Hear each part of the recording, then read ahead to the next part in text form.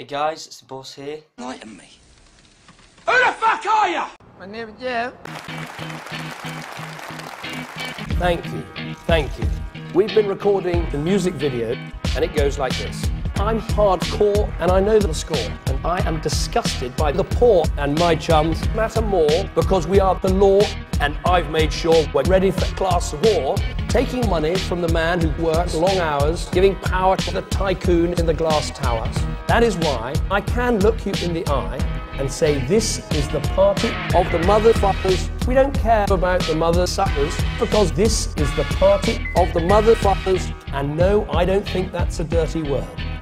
So let the beat drop. I come here with flows right from the top. Everybody knows if you work in a shop, we won't help you. And you know what? People rising from the bottom to the top has got to stop. We have the bravery to bring back slavery. Working in a supermarket is just the start of it.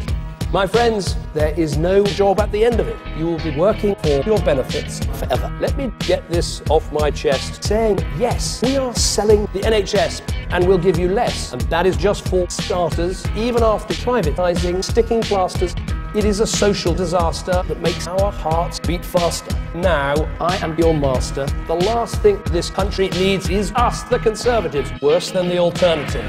We don't care if you're driven to despair. Don't you dare say it's not fair. I'm not saying it's not funny. It is for me. I've got loads of money. This is the party of the motherfuckers the country is run. For me and my mothers, this is the party of the motherfuckers. We just don't care about the mother suckers. You are nothing, you are a fool, and you are a waste of time. Good night.